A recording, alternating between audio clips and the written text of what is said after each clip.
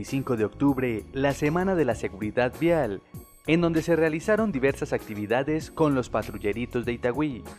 En el marco de esta semana, se llevó a cabo la prueba piloto nacional de educación vial, organizada por la Secretaría de Movilidad y la Secretaría de Educación.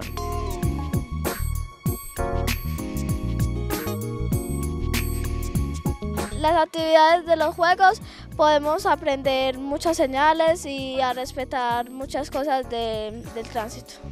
Lo que más me gusta de los patrulleritos es que en los patrulleritos nos podemos formar personas de bien. Y a mí lo que me gusta más de, de acá es enseñándole a los niños las señales de tránsito, que cuando ellos sean más adultos que sean mejores para reconocer las señales. Los festivales, las triciclovías. Las triciclovías, los juegos, ahí como cuando nos vamos para paseos. Los ciudadanos, en su mayoría niños, pudieron disfrutar de la tradicional triciclovía, el Festival de la Seguridad Vial, cineforo, entre otras actividades, con el fin de sensibilizar a los ciudadanos sobre la importancia de acatar las normas contempladas en el Código Nacional de Tránsito para evitar imprudencias por parte de los conductores de vehículos y los peatones.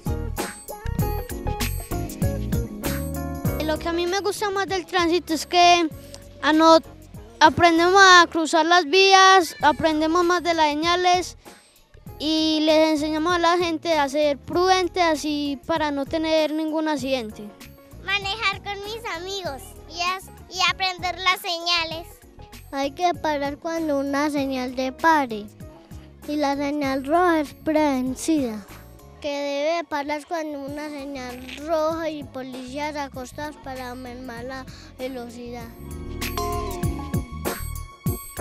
Con estos eventos, la administración municipal logra una importante capacitación y educación a los itagüiseños.